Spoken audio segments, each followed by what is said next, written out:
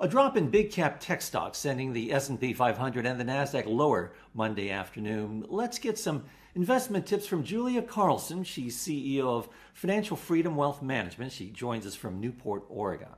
Welcome, Julia. Thank you.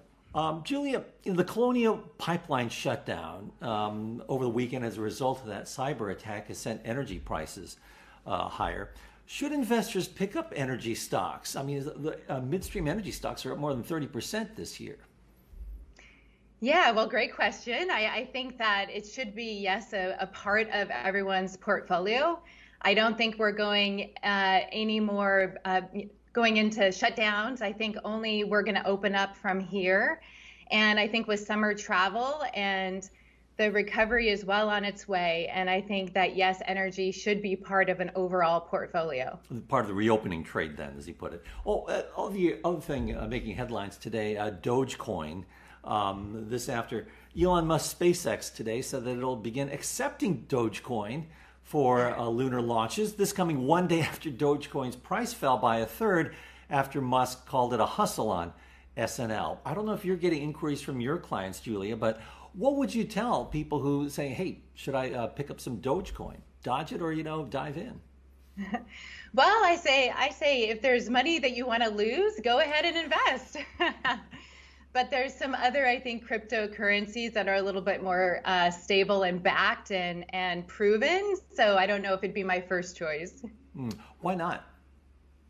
Why not? But just because there can be an infinite supply of Dogecoin, so it can be uh, printed, and the that will affect the the prices of it into the future. Right. Uh, unlike a Bitcoin, which uh, has that limitation uh, in terms of exactly. I see. Well, uh, May is traditionally a weak uh, month. I guess it's got the seasonal factor, the sell in May and go away. But would you be buying on the dips or would you advise people to sell into strength? People are concerned about valuations today. I guess tech stocks are selling off. Yeah, I think that I think it's a great opportunity in the tech stocks to get in. I mean, from the highs, they're up or down about 30, 35%. So I think it creates a, a good opportunity to get back in if you had already maybe um, moved to more value based companies. But I think I, I don't think this is a, a, sell in May and go away. I think there are some um, strengths to be had as we begin to open up our economy more and more, and there's pent up demand that I think we'll see. Um, where should investors be putting their money right now? Well, I think that I, I, guess if it's new money, looking at the the technology and the and the IT sector that is being um, sold off right now, um, you know, leaning into that and the innovation funds, I think that that's um, a good opportunity. But I also, on the other side of that, I think we're going to still see strength in value-based companies in real estate investment trusts, the equity um, real estate. I also think um, financials will will do well, uh, and um, you know, more of those.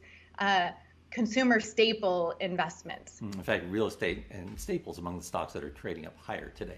Thanks a lot, Julie, for your thoughts.